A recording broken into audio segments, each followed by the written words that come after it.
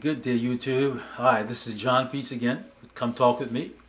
And today we're going to be continuing our amazing children book series with a new book today.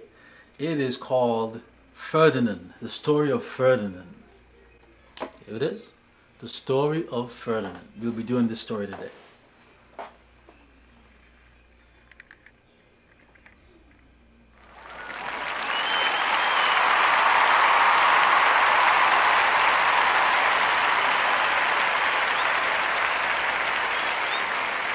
Ferdinand by Munro Leaf.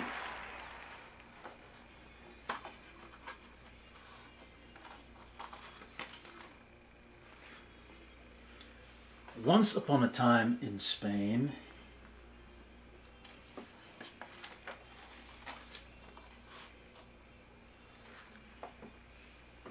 there was a little bull and his name was Ferdinand. All the other little bulls he lived with would run and jump and butt their heads together.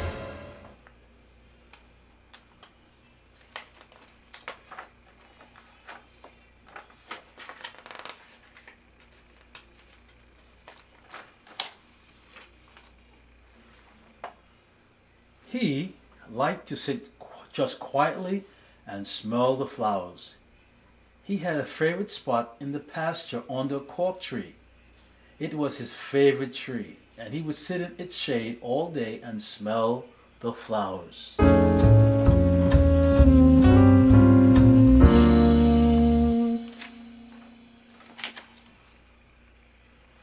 Sometimes his mother, who was a cow, would worry about him.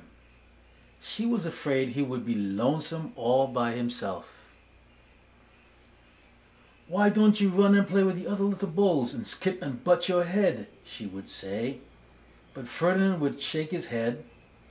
I like it better here where I can just sit quietly and smell the flowers.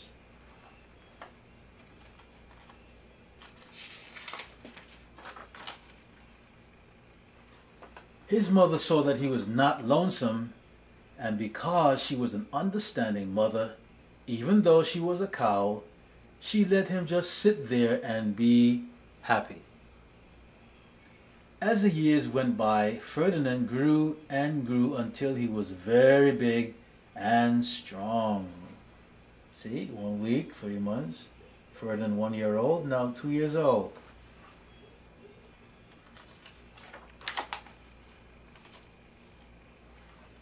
All the other bulls who had grown up with him in the same pasture would fight each day each other all day.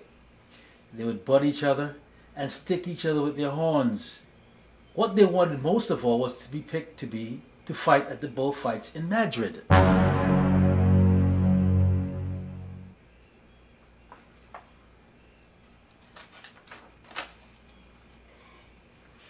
But not Ferdinand. He still liked to sit just quietly under the cork tree and smell the flowers.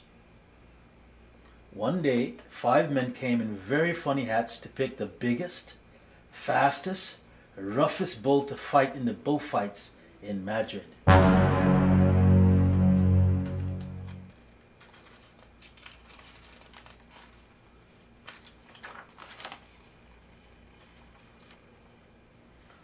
All the other bulls ran around snorting and butting, leaping and jumping so the men would think they were very, very strong and fierce and would pick them. Ferdinand knew that they wouldn't pick him and he didn't care. So he went out to his favorite cork tree to sit down.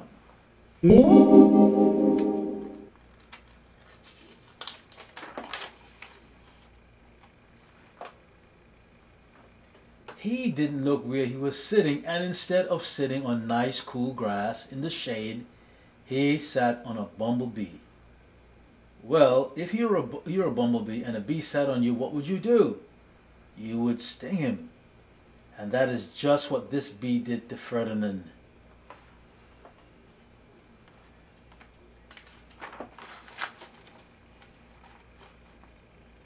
Wow, did it hurt. Ferdinand jumped up with a snort. He ran around puffing and snorting butting and pawing the ground as if he was crazy. The five men saw him and they, were, they all shouted with joy. Here was the largest and fiercest bull of all, just the one for the bullfights in Madrid.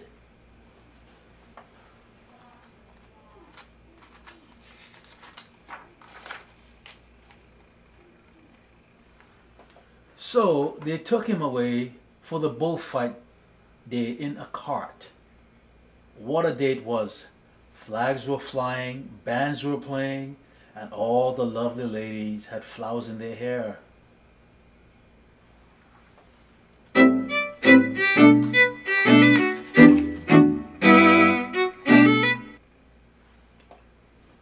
They had a parade into the bull ring.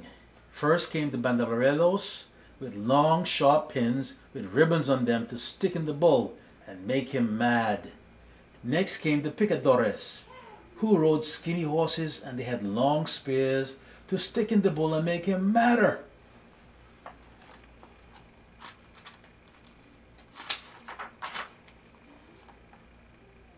Then came the matador, the proudest of all. He thought he was very handsome and bowed to the ladies. He had a red cape and a sword and was supposed to stick the bull last of all. Then came the bull. And you know who that was, don't you? Ferdinand.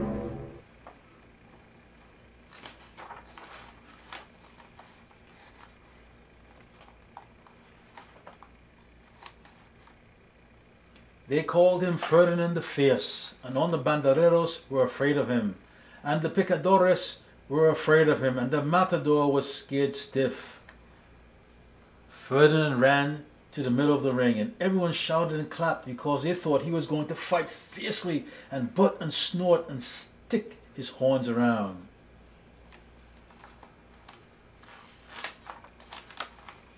But not Ferdinand.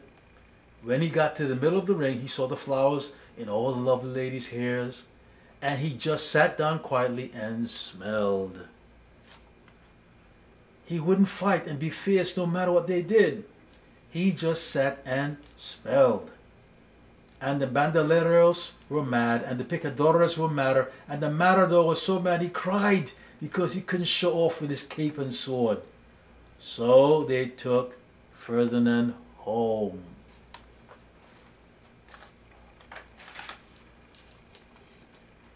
And for all you know, he's sitting there still under his favorite cork tree, smelling the flowers just quietly. He is very happy. The end.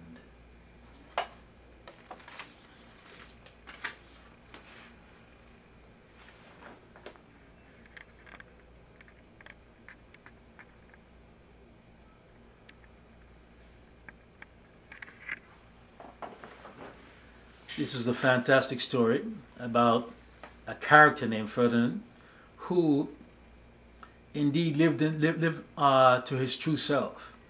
And uh, there's a moral in the story. And uh, when I come back the next time, we will do um, the story lesson and the moral to the story, social skills, articulation training, and language skills training. Okay? So I'll see you next time. Thanks for joining me. Have a good day.